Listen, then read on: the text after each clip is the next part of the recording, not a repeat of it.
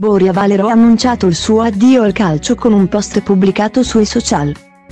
In cui dice addio al calcio giocato, dopo diversi anni trascorsi in Italia, alla Fiorentina.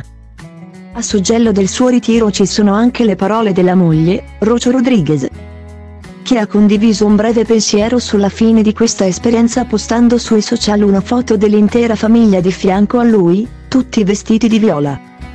La carriera calcistica di Boria Valero si è chiusa. Il calciatore ha annunciato il suo addio al rettangolo verde con un post pubblicato sui social. Con cui dice addio al calcio giocato, dopo diversi anni trascorsi in Italia, alla Fiorentina. A suggello del suo ritiro ci sono anche le parole della moglie, Rocio Rodriguez, che ha condiviso un breve pensiero sulla fine di questa esperienza postando sui social una foto dell'intera famiglia in maglia viola e ha scritto, oggi più che mai. Oggi come il primo giorno. Forza Boria.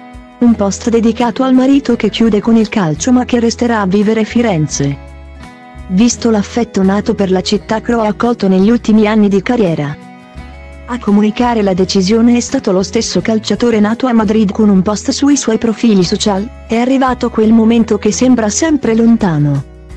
Quello di smettere di giocare al pallone. Mi sarebbe piaciuto farlo sotto la fiesole piena di gente ma purtroppo nel calcio come nella vita non dipende tutto da noi. Ringrazio tutte le squadre dove ho avuto l'onore di giocare Real Madrid, Mallorca, West Bromwich Albion, Villarreal, Inter e Fiorentina. Grazie anche ai tanti allenatori e compagni. Senza di voi noi ce l'avrei fatta. A mia moglie Rocio Rodriguez e miei figli Alvaro e Lucia. Vi amo alla follia. E a voi fiorentini, siete stati la mia vittoria più grande. Grazie mille di cuore. Ci vediamo in città.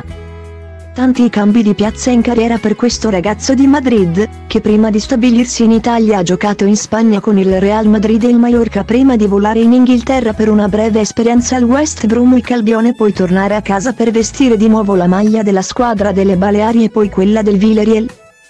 Poi l'arrivo a Firenze, dove ha giocato per tre stagioni, prima di viaggiare verso Milano. Sponda interista, per altre tre stagioni. Infine il ritorno alla Fiorentina, dove chiude il ciclo.